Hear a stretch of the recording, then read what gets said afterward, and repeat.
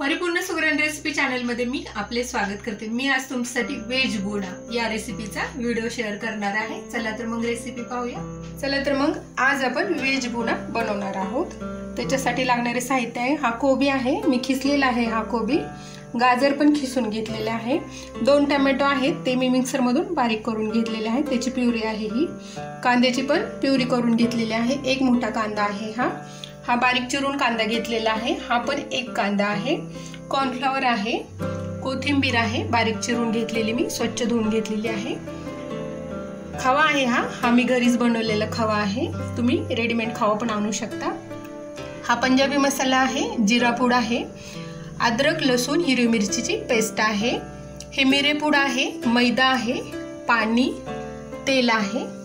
साखर आहे. धनापूड आहे. हे बेडगी मिरची पावडर आहे लाल मीठ आहे हळद आहे. हा पंजाबी मसाला ह्याचा मी सेपरेट व्हिडिओ बनवलेला आहे. ह्याची लिंक तुम्हाला डिस्क्रिप्शन बॉक्समध्ये मी देते.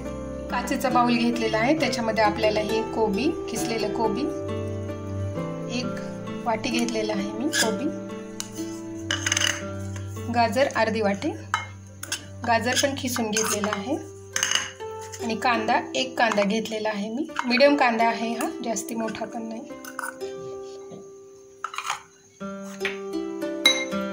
अद्रक लसूण हिरवी मिरचीची पेस्ट अर्धा चमचा.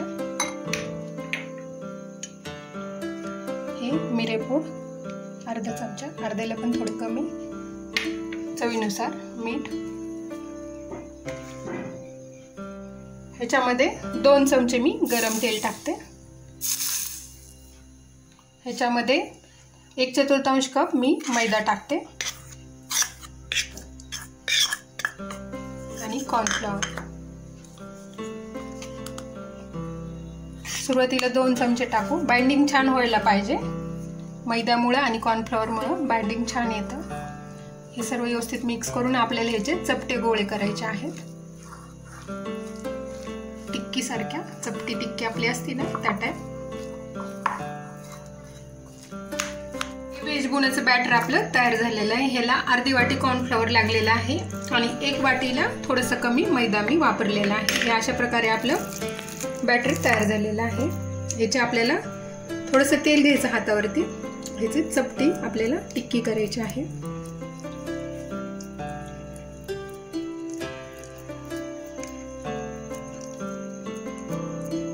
अशा प्रकारे अशा प्रकारे सर्व टिक्क्या मी बनवून घेते. थोडंसं तेल घ्यायचं हाताला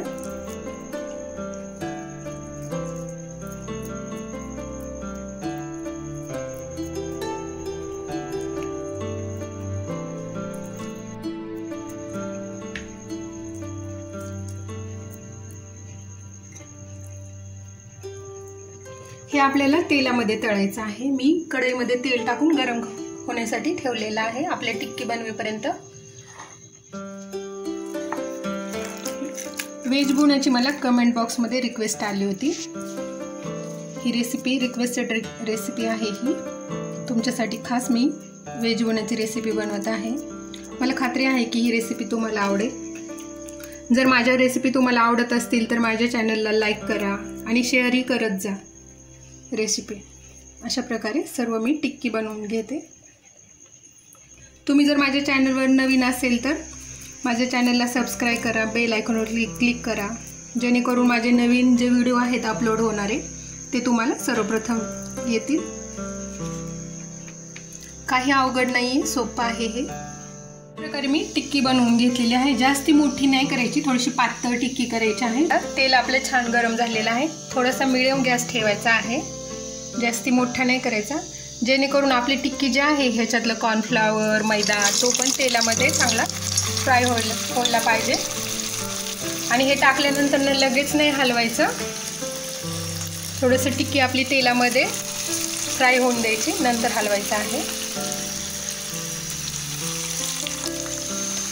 गुलाबीसर करून घ्यायच्या आहे थोड्याशा लगेच नाही हलवायचं. थोडंसं तेलामध्ये आपल्याला टिक्की असं थोडंसं फ्राय झाल्या पाहिजे. नंतर त्यांची साईड पलटी करायची आहे.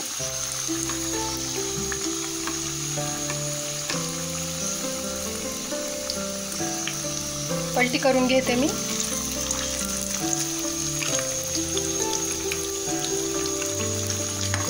अशा प्रकारे सर्व टिक्क्या अशाच प्रकारे करायच्या आहेत आपल्याला. मिडियम गॅसवर करायचं आहे.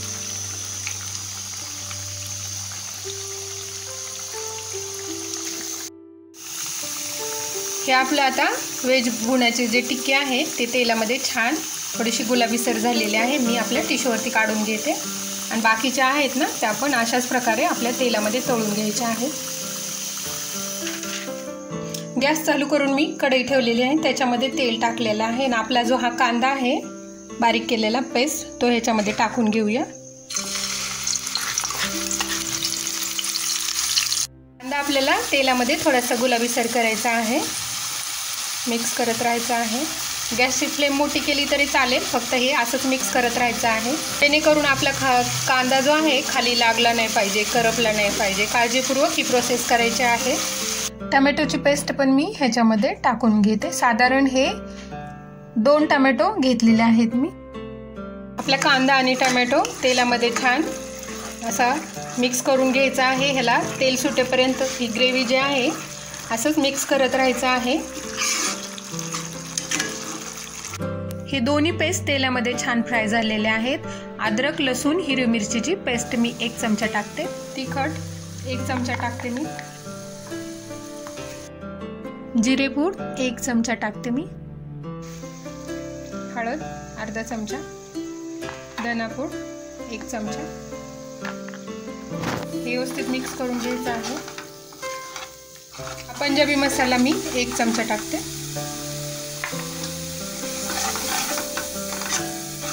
आता आपला मसाला जो आहे तेलामध्ये छान फ्राय करून घ्यायचा आहे.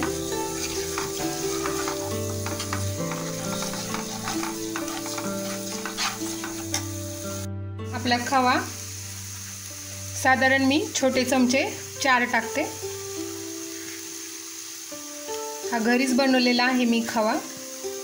त्यामुळे ह्याची चव फार छान आहे. तुम्ही बाहेरूनही आणू शकता आणि घरी बनवू शकता.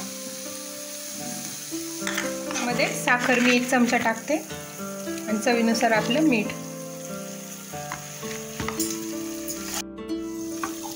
ह्याच्यामध्ये आपण पाणी टाकूया आवश्यकतेनुसार.